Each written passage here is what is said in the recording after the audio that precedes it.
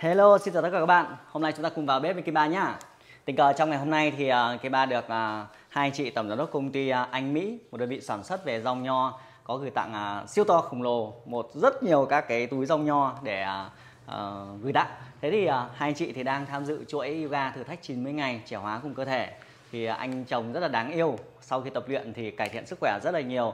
Sau đó thì uh, gọi là làm cho cả cô vợ cũng gọi là mê mệt với yoga thì hai anh chị đã cải thiện sức khỏe và trong ngày hôm nay thì hai chị cũng à, là đơn vị sản xuất về rau nho có gửi tặng Kim Ba. Thì tôi tin chắc rằng thì à, nếu mà ai đó nghĩ đến rau nho thì chắc chắn là đấy cái mùi vị này rất là thú vị đúng không? Và bản thân mình và bà xã mình à, gia đình mình cũng rất hay sử dụng là rau nho trong các cái thực phẩm hàng ngày vì cái lợi ích sức khỏe rất là tuyệt vời của nó. Thì nhân tiện hôm nay chúng ta sẽ cùng chế biến nhá và hướng dẫn các bạn là cái cách để chúng ta có thể là à, sử dụng rau nho như thế nào. Thế thì à, bước đầu tiên này bước đầu tiên thì à, đây loại rau nho đã được sản xuất rất là đầy đủ. Uhm, à, các loại rong nho này đã được đóng gói rất là kỹ và nó khô lại à, gọi là rong tươi nhưng mà có thể là cô độc lại. Thế thì để mà bảo quản nó tốt hơn thì sau khi chúng ta chuyển về nhà thì cho vào tủ lạnh ngay và giữ ở nhiệt độ từ 0 đến 8 độ C thôi. Thì ở đây có quy trình gồm 4 bước để sử dụng à, rong nho. Bước 1 là chúng ta phải rửa qua bằng nước sạch cho rong nhả bớt cái muối mặn đi. À, bước thứ hai sau đó ngâm trong nước khoảng 3 phút để cho rong nở ra và tươi trở lại rồi bước thứ ba là chúng ta sẽ vớt rong ra và cho vào một tô đá để à, rong lạnh và giòn hơn. Chứ nếu mà các bạn để mà không lạnh ấy thì nó ăn nó sẽ hơi tanh ấy nên chúng ta hãy giữ lạnh cho nó. Và tất nhiên để ăn ngon hơn thì bước thứ tư thì chúng ta sẽ sử dụng thêm các loại nước chấm như mè rang à, sốt ma mazone à, tương ớt xì dầu tùy từng đơn vị. Hoặc là ăn kèm với các cái món mà đã chế biến rồi. Salad liếc cũng rất là hay và nên là ăn ngay sau khi mà 30 phút để rong mềm và chúng ta cùng chế biến sản phẩm ngày hôm nay nhá. Ok bước đầu tiên bạn sẽ phải cắt toàn bộ rong ra và chúng ta cho vào một túi à, một nước để chúng ta rửa đi. Hai phần này phần 1 phần 2 cắt toàn bộ ra. Sau đó cho vào nước để rửa cho rong à, hết mặn.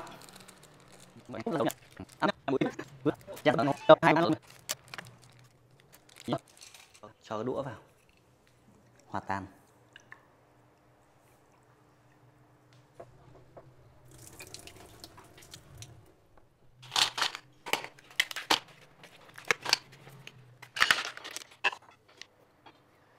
Rồi đấy còn sợ đó trước giúp mà lên cho bát chung là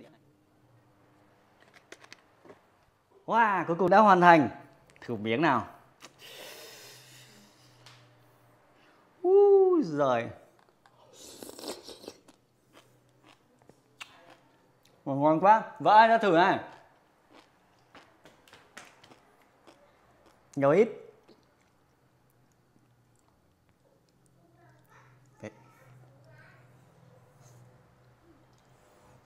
Rồi ôi, giải rơi hết ra rồi. Siêu ngon luôn. Tiếp không? Ừ.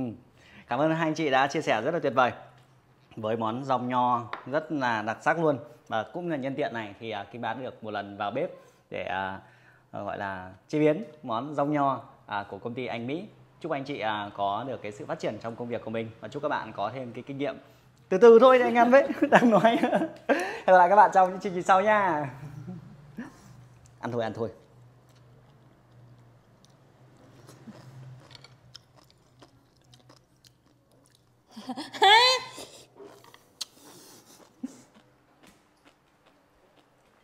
Coi ơi!